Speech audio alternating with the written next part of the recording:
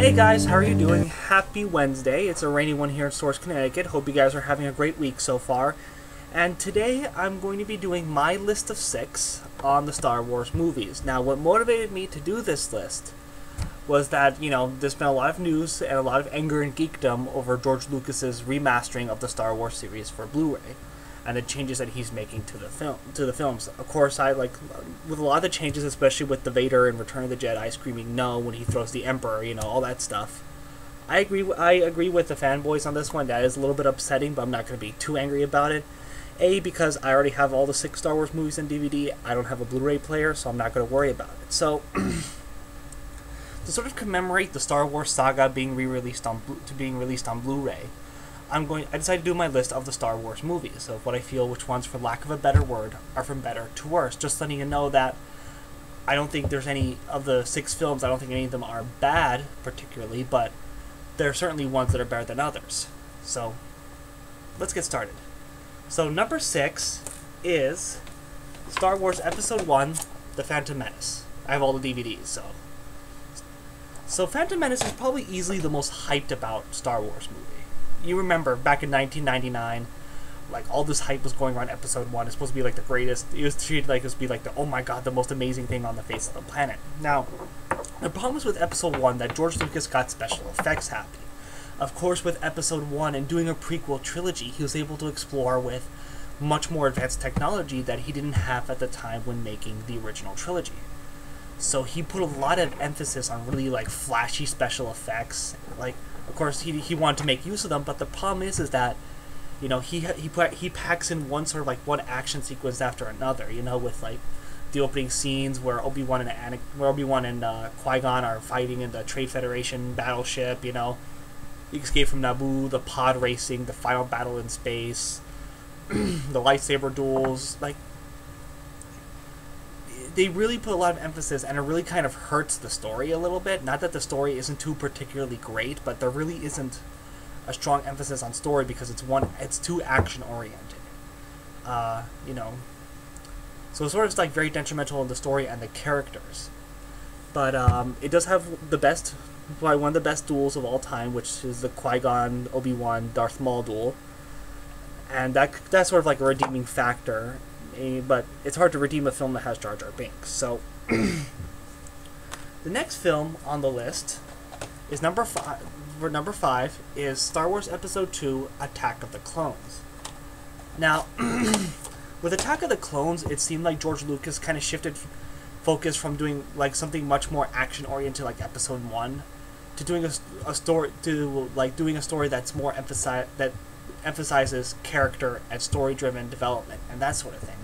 Now, normally I'm a fan of this. I'm, I love character driven stories, but it wouldn't have been a bad thing, like to make that shift from doing the much more action oriented story to more of a romantic character driven story, if it wasn't for a, a terribly wooden dialogue, horrible acting job from Hayden Christensen, and almost zero chemistry between Hayden Christensen and Natalie Portman. There's like no chemistry there, in my opinion, and it's just so it's really hard to tell a story with like with less emphasis on action when your characters and your drama isn't that isn't strong at all. I mean, in terms of acting and stuff like that, Ewan McGregor, Samuel. Jackson, and Christopher Lee are like the saving graces. They all do really great jobs with what they're given. And plus, the whole movie is sort of redeemed by the Battle of Geonosis at the end. You know, one of the most epic battle scenes of all time, and almost makes the movie wa- not. I'm not saying the movie's unwatchable, but it really like you probably if you don't remember much about episode 2 but just remember the battle of geonosis then you should be all set. So number four on my list is uh, star wars episode 6 return of the jedi.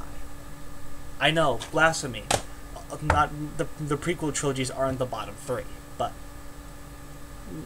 i do love return of the jedi. I think it's a great it's a great addition but I think it just it spent a little bit too much time with the Han with the rescuing Han Solo storyline and forgetting oh there's a rebellion going on. Uh, we're just spending all this time, you know, fuck the rebellion. We're going to focus on saving one person, and so it just makes it forget that there's a whole other larger conflict going on. However, when it starts getting back to it, it feels like a completely different movie. It feels more like a focused Star Wars movie And the space battle, I think just the problem is that it takes too long, and also just it takes a little bit too long for the big space battle to happen, for the final duel between Darth Vader and Luke to happen. But still, it's a really good movie, and it's a really satisfying conclusion to the whole Star Wars saga. Now, my for number three, I put Star Wars Episode Three, Revenge of the Sith. Now, you know, I, I feel that Revenge of the Sith was sort of George Lucas being able to find the happy medium between Phantom Menace and Attack of the Clones, and deliver a story that is still like very drama, very character oriented, but still packs some really great action sequences, like moments that really keep you on the edge of your seat. Uh, this is by far the darkest installment of the Star Wars saga, and as you know me, if you ever watch any of my videos, I really like dark storylines, uh, dark stories. Not that I'm a dark person, but just those kind of aspects fascinate me. Uh, we finally see here. We finally see Anakin push the dark side, uh, in, and really start, you know, the whole wiping out of the Jedi, and that sort of thing. That all plays out in Episode Three.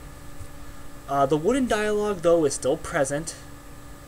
Uh, it is saved, you know, but the whole it's kind of taken a It took a yes, there is still wooden dialogue, but you have a really like you know one of the saving graces is again Ewan McGregor, who gives a really fantastic, moving, and powerful performance as Obi Wan Kenobi. Plus the final duel between Anakin and Obi Wan, which is probably the grittiest, most personal fight in the Star Wars saga. I think is really great. And I think this like this is what moment that like when the prequel trilogy came out, this is sort of the moment that fans have been waiting for. And it was served out really well and really great service to the fans who stuck it out through the prequel trilogy to, to come to episode 3 to give us a high intense, highly personal, and highly brutal duel between the, the former friends. And it was it's worth the entire movie. Yes, there's other great sequences too, like you know the battle the beginning battle on Coruscant and stuff like that. That's really cool also. But the battle the duel that Anakin and Obi-Wan have on Mustafar is the highlight of the movie. So number two for the Star Wars movies on my list is the original. Episode 4, A New Hope, or at the time when it was released, just Star Wars. Many of you guys not know this, but Star Wars Episode 4, A New Hope was considered, at the time it was released back in 1977, it was considered one of the first blockbuster movies, along with movies like Jaws.